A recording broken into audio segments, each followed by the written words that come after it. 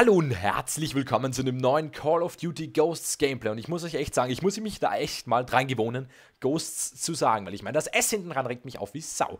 Aber ja, auf jeden Fall möchte ich in diesem Video heute ein, einen kleine, ja, Compilation machen, einen kleinen Tipps und Tricks Video, was zu dem neuen Modus, ja, äh, Search and Rescue zu sagen ist, nämlich den möchte ich euch jetzt vorstellen und dazu ein paar Tipps und Tricks geben, was mir so auf der Zeit eigentlich eingefallen ist oder aufgefallen ist, während ich die ganzen Sachen hier ein bisschen analysiert habe. Was kann man hier machen? Wo kann man langlaufen und wie läuft der Spielmodus ab? Und welche Killstreaks gibt es vor allem? Weil das ist eigentlich das Einzige, was man einigermaßen sagen kann, vorhersagen kann, im Vorhinein Tipps und Tricks mäßig.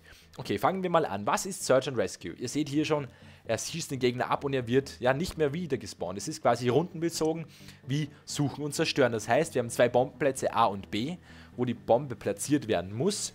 Und ja, einmal sind es die Verteidiger, einmal ist man der Verteidigerpunkt und einmal der Angreiferpunkt, wo die Bombe platziert werden muss und ja, die eben dann beschützt werden muss, bis sie hochgeht, eben jetzt wahrscheinlich 30 oder 40 Sekunden lang.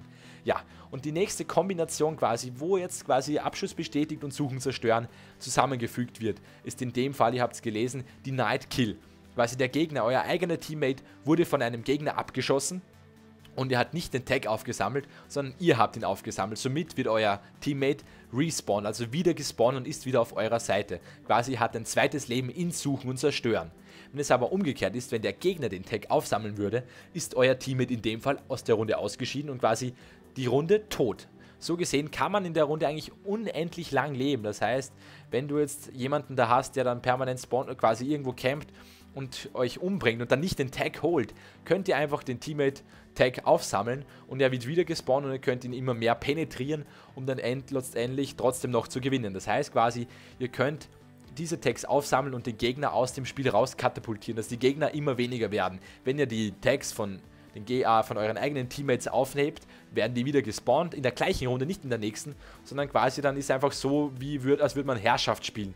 Quasi, oder wie man Abschluss bestätigt spielen würde. Quasi, dass wenn der, du den Tag, auf, den Tag aufhebst von deinem Teamkameraden, wirst, wird der Teamkamerade wieder gespawnt. Alter, ein Hitmark mit der Sniper habe ich auch schon noch nie gesehen, glaube ich.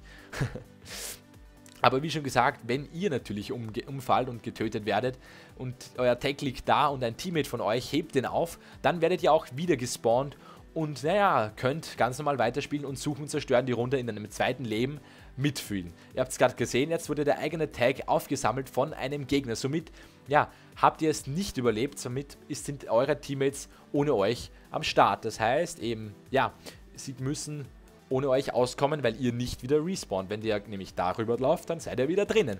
So, so viel dazu. Also eine Kombination aus Abschluss bestätigt und eben Suchen und Verstecken. Sehr interessanter Modus, bin ganz gespannt darauf. Besonders mit Teamwork wird das sehr interessant. So, jetzt kommen wir mal zu dem Tipps- und Tricks-Part. Also erstens würde ich mal sagen, wenn man das spielt, dann sollte man erstens mal auf die Killstreaks achten. Wenn man nämlich überlegt, wir haben Drohne dabei, wir haben zum Beispiel äh, den Riley und den Hund dabei oder IMS je nachdem, was ihr bevorzugt oder was euch lieber ist, was auf die Map angepasst ist, Long Range und kurze, kurze Range, könnt ihr immer anpassen, was passt besser. Aber in dem Fall könnte ich euch zum Beispiel empfehlen, wenn ihr auf einer längeren Map spielt, ist das ganz normal wie in Suchen Zerstören, spielt entweder Sniper Rifle, okay, da müsst ihr euch absprechen im Team, wer was mitnimmt. Ich würde aber eher für solche Sachen, je nachdem wie groß oder klein die Map ist, euch ganz normal ein Sturmgewehr, wie zum Beispiel in, sagen wir mal, im Black Ops 2 Fall die AK mitnehmen oder, äh, gibt es ja gar nicht, glaube ich, oder? oder die FAL ist sehr praktisch für solche Sachen, um die Gegner besser zu kontrollieren und auch Distanz äh, effektiv arbeiten zu können.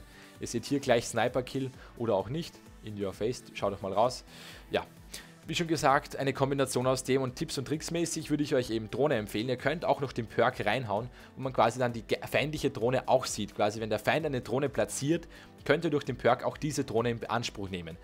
Also somit habt ihr eure eigene Drohne und die Gegnerdrohne, wodurch ihr immer mehr gegnerisch, gegnerische Aktivität seht. Weil ich meine, in Such und Zerstören bzw. in Search and Rescue wird solche Sachen immer natürlich gerne lieber eingesetzt, so die kleineren Sachen die kleineren Perks, wie eben die Drohne, die man eben aufstellen muss.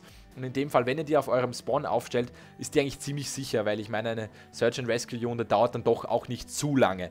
Ja, und sonst sekundärmäßig würde ich natürlich auch sagen, okay, Ähm, nehmt eine Sekundärwaffe wie Pistole mit. Ich weiß jetzt nicht, inwiefern wir automatische Pistolen dabei haben, aber das werden wir sehen. In dem Fall schreibt mir noch ein bisschen in die Kommentare, was könnte man noch eventuell rein an Tipps und Tricks, was würde euch jetzt schon einfallen? Schreibt mir das mal in die Kommentare und schreibt mir auch, was haltet ihr von dem Modus? Ich bin ganz gespannt, wie das wird.